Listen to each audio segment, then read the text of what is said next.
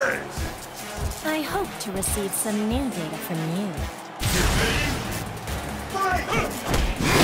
No way, Jose! Already been decided.